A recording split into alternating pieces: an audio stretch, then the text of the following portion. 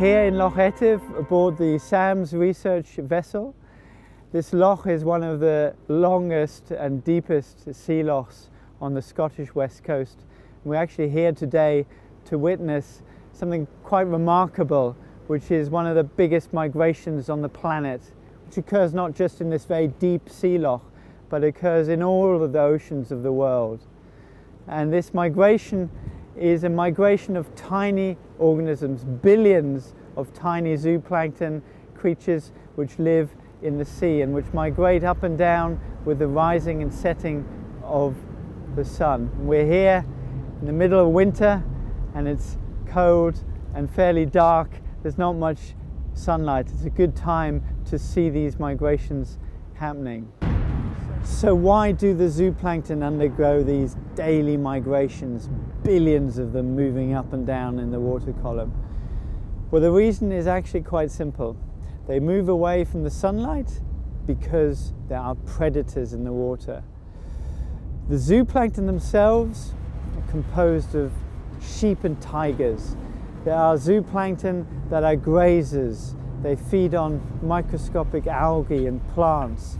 And there are other zooplankton which are like tigers and now feed on those grazers. Small fish will hunt the zooplankton and out at sea large whales will eat the zooplankton. They're the basis of the food chain and they're incredibly important.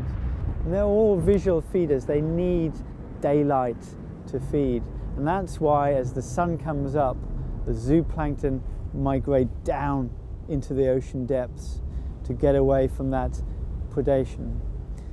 And our question was, well, what happens in environments where you have no day-night cycle? This may sound unusual to some, but if you go up into the Arctic, for six months or so, the sun sinks below the horizon. And there's no daylight, no solar daylight to speak of. And what happens to these migrations? Do they still exist? Are these prey still being hunted by predators? And our findings are that they are, but the story is actually quite different than what we expected.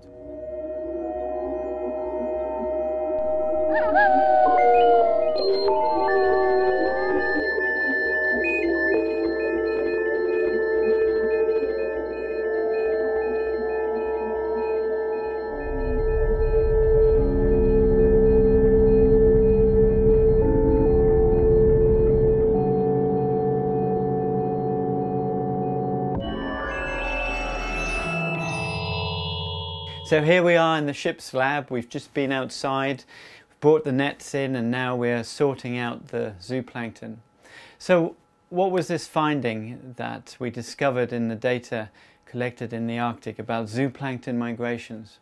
Well, our approach was to, to gather data, to mine data from a large international group of scientists who have moorings up in the Arctic moorings on the seabed with acoustic instruments on them.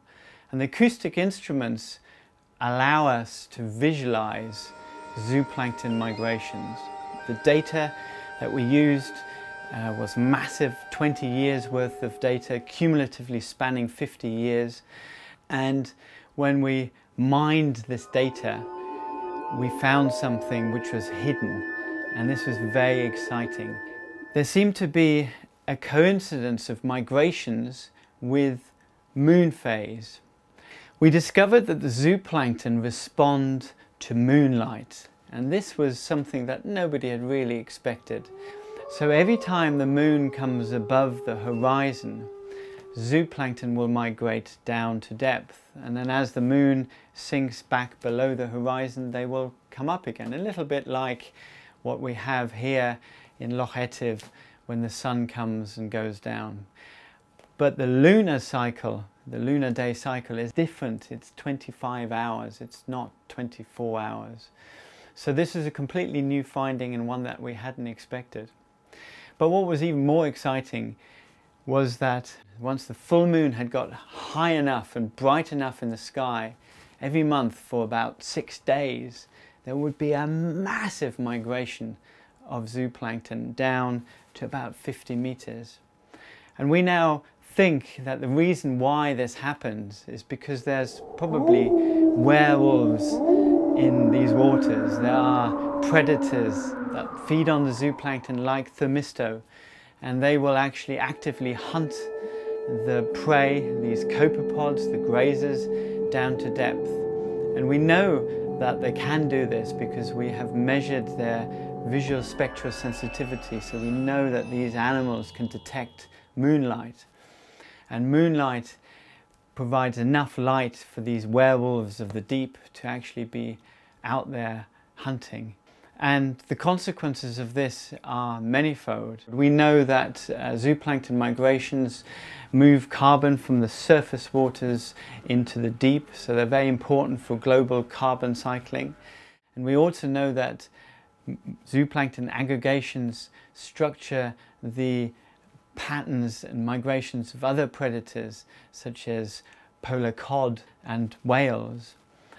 But perhaps most important is that we now have a completely different perception of the Arctic and the polar night. That there's a baseline, there's a different baseline. We'd expected there to be nothing happening at this time of year when it's incredibly cold and totally dark for months on end. And yet we now know that the moon drives these migrations probably because of predators, which is incredibly important about making predictions for the future where the Arctic is changing and where we have ice retreat. And effectively, we will have more light penetration into the oceans. So werewolf migrations may become more dominant in the future.